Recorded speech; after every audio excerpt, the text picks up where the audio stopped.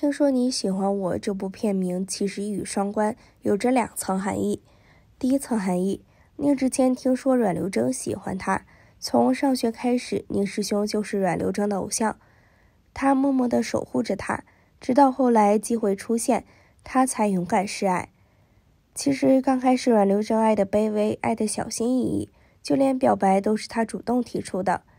后面有一句“爱过，不敢再爱”，听了让人动容。后面结婚后，他俩再次重逢，衍生出第二层含义。阮流征听说宁志谦喜欢他，这时候的阮流征有了前车之鉴，不急不躁，不慌不忙，还能利用身边的桃花薛伟林来不断的试探宁志谦的心理变化。这招欲擒故纵，撩得宁师兄心里直痒痒。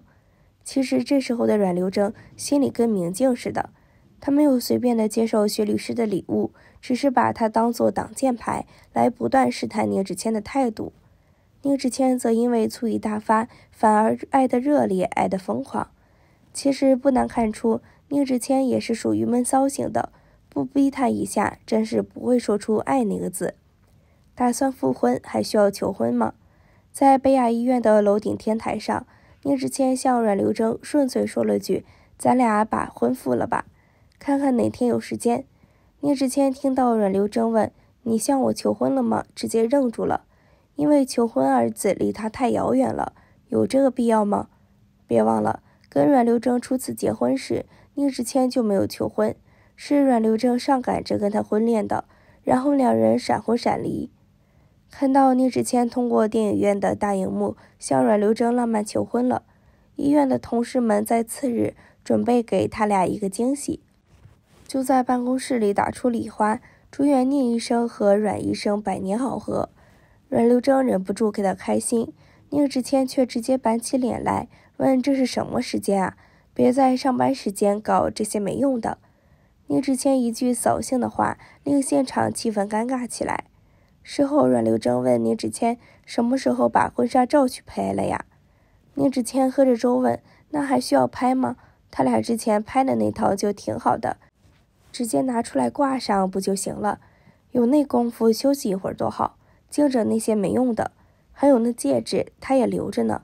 要他说啊，以后真别麻烦了。阮流征不在的时候，这饭不也是照样吃了吗？看到阮流征一脸茫然，才明白当初两人离婚的原因，就是结婚前宁志谦没有向他求婚啊。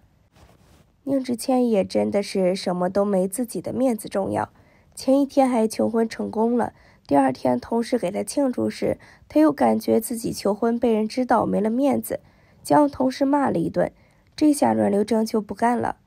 阮流征这边好不容易哄好了，两人开始筹备结婚的事，聂志谦却又当起了甩手掌柜，什么都让阮流征做主，让他看着办，这让阮流征很不舒服。这时候，阮流征又在聂志谦电脑上看到了他求婚的策划案。阮流征才知道为什么聂志谦能想到如此浪漫的方式求婚，原来是花了重金，又问了好闺蜜谭雅，知道聂志谦没打算让同事去参加他们的求婚，同事都是谭雅叫过去的，所以聂志谦第二天看到同事庆祝才大发脾气的。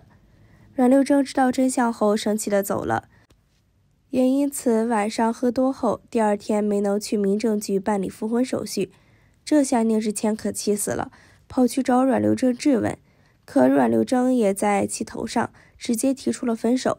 这一幕被男二薛伟林看到了，薛伟林以为自己有希望了，就开始追起了阮刘征，不仅参加了医院的团建，故意和刘征亲近，还每天送爱心餐，这可将宁志谦酸死了，直接狂吃烤串，吃到胃疼，真是活该呀！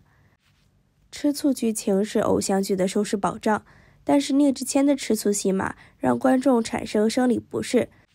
他并不是出于爱情，而是因为他觉得女主是他的所有品。